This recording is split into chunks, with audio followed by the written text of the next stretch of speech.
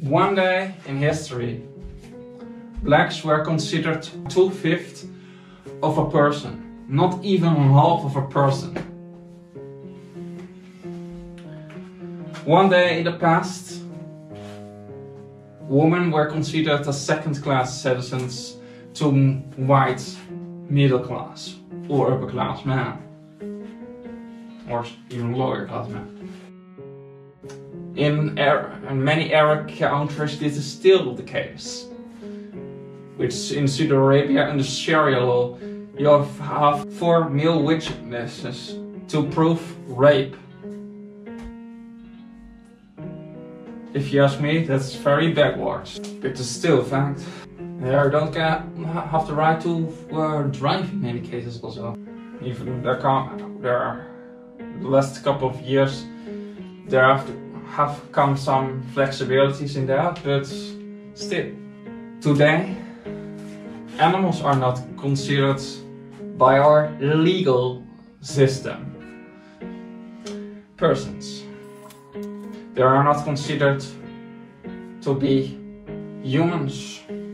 Even blacks were before the abolition of slavery also not considered humans. They were considered savages. They were considered niggas.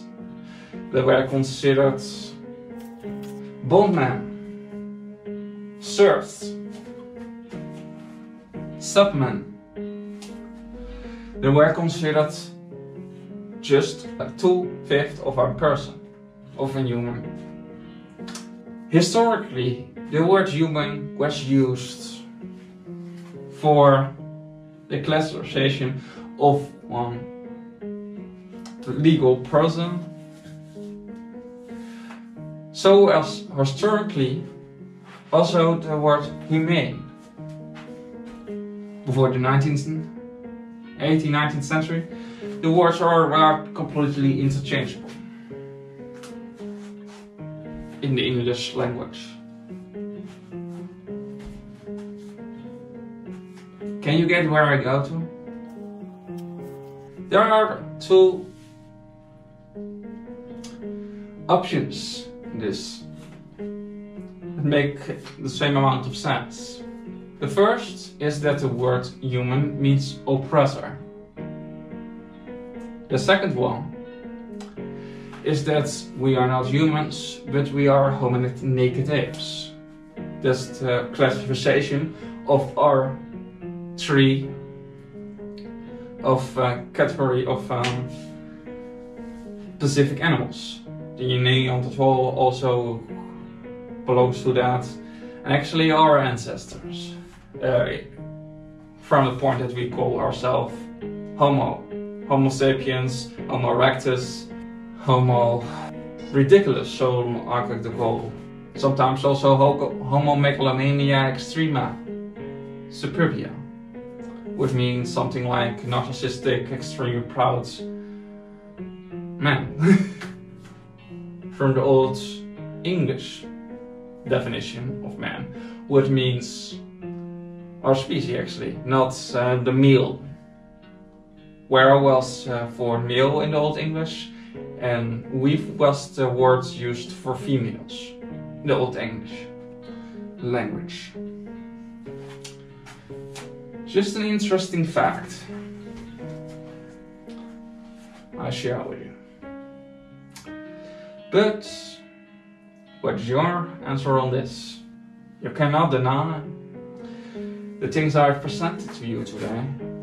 Yeah, you can do, but then you are, are lying. It is time that we classified other animals also also having humane qualities since that's around something like 78% of all the animals on the planet are herbivores.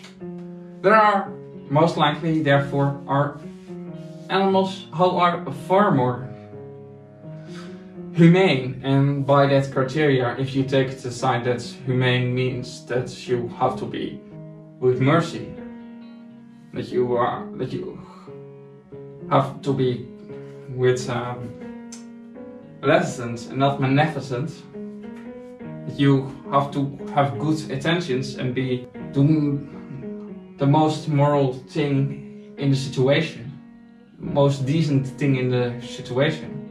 And therefore, there are other animals who are just as much, maybe even far more worthy of being called human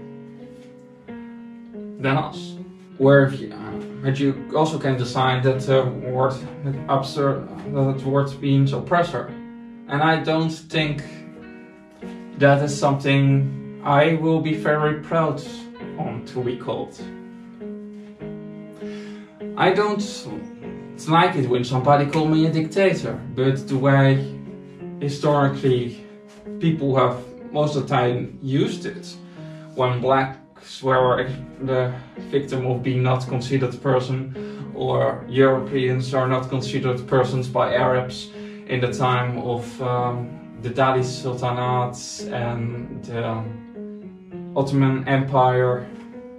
Also, uh, Indians were also not considered persons who were considered slaves in the Delhi Sultanate. If you want to know more about that, I have a Facebook article about some of that stuff. Um, maybe a couple of weeks ago. You can check it out if you want. We'll link it in the description below. Tell me in the comments if you find this video interesting. Now, also become vegan and drop the anthropocentric, mindless robotic stage you are in. Like the white supremacists are in the mindless robotic states of white supremacy. And rapists are in the mindless robotic states of um, rapism.